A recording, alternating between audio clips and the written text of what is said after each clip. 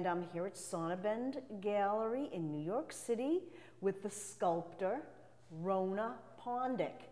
And Rona, I want to hear about the hybrid, the combination of animal and human.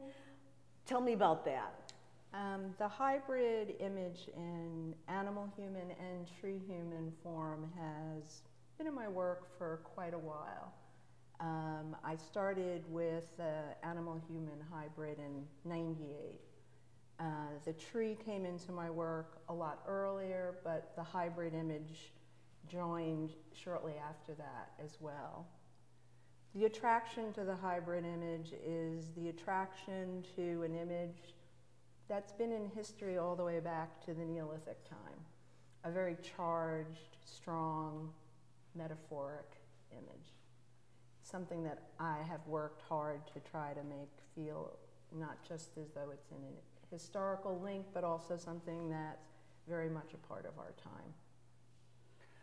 Okay, uh, can you elaborate a little bit more? Does this have anything to do with with shock value, or is is this, is this a lot deeper than that?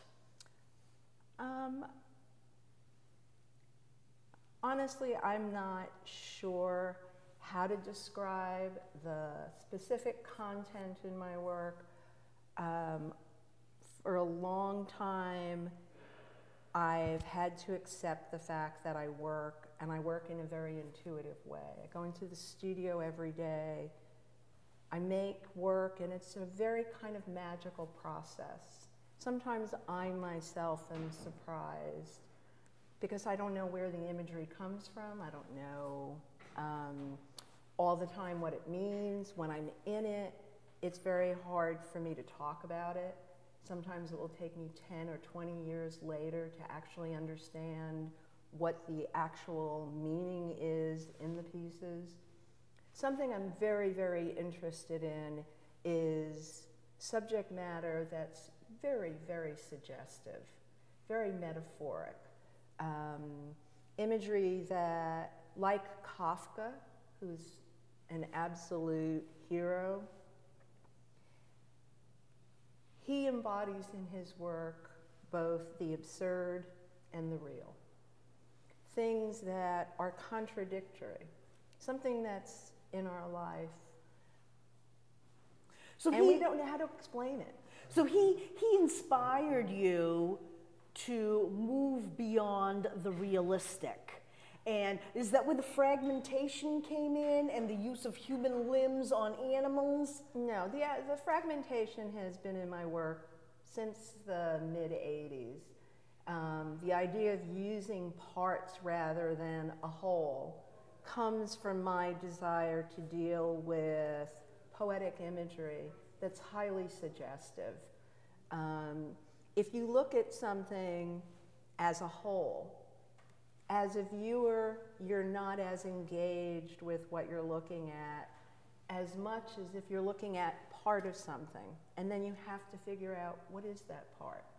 And the way I'm joining the animal with the human, there are contradictory things happening in terms of materiality, in terms of how you expect to see these things or forms in life.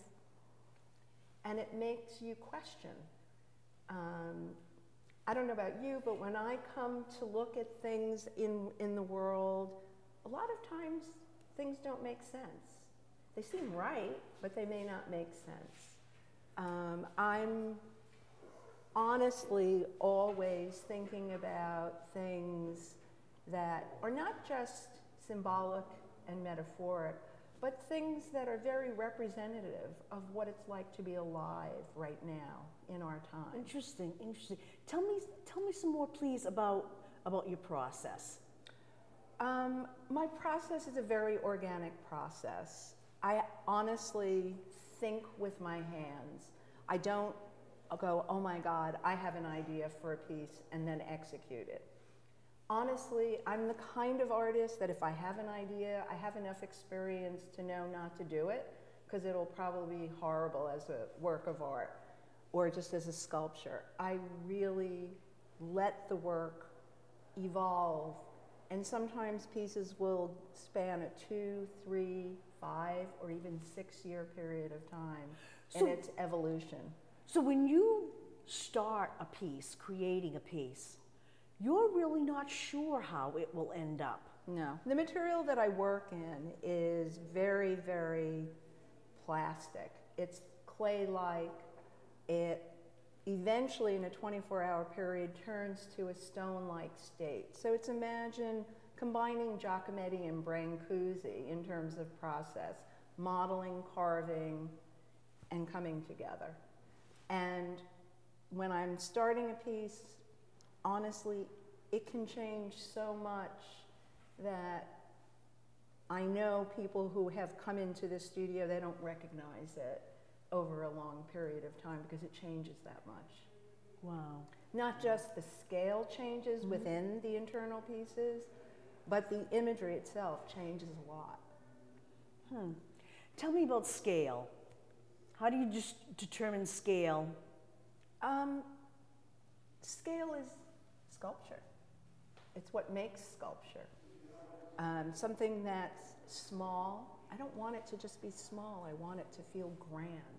But something that's large, I don't want to just be huge feeling. I want it to have an intimacy at the same time as being large.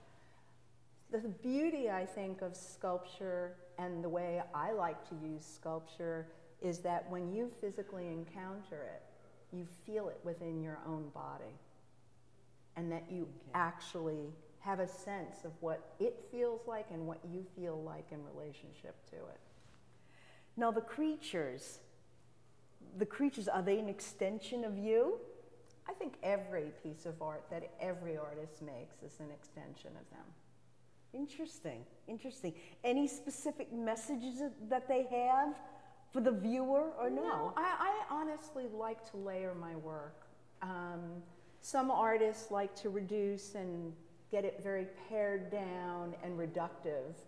When I'm paring down and making things more exact, I'm putting more and more and more in, but letting it hopefully unfold slowly. So So, this is- very layered. So, this is the psychological layering you're talking about in your work, correct? It's, not- it's form, it's psychological, it all comes together. Hopefully, when a piece is resolved, it's hard to dissect any one part and say, well, it's this or that.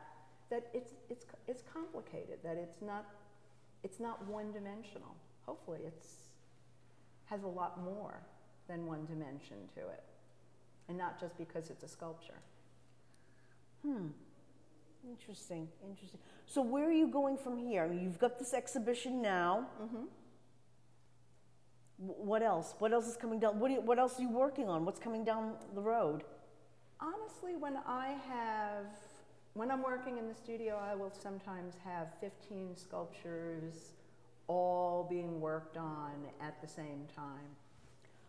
Oh, interesting. And um, I'm just going to go right back to work in my studio. There are other exhibitions that are coming up that are being planned in um, other parts of the world, and I'm getting back to work.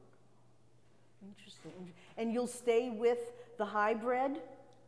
Yeah, the, the hybrid is, for me, uh, just very, very rich and It is. it's, and it's, they're, they're images that I feel like could really keep me engaged and working probably for the rest of my life.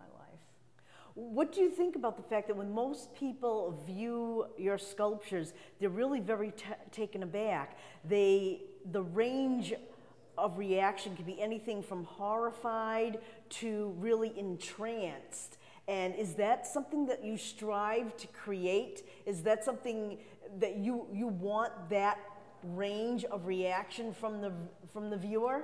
Well, I think art is a language, um, and hopefully it speaks. I don't want someone to look at my work and not think about anything or not feel anything. Um, I'm excited when someone does get very engaged and involved with the imagery. I also know that there's no way to control your viewer. No matter who the viewer is out in the world, it's not possible. And something that I have found with my work is that there are people who see the work and they find some elements funny, and two seconds later, someone will come over and find it disturbing. And I think that's actually quite lovely and fascinating. And I like that.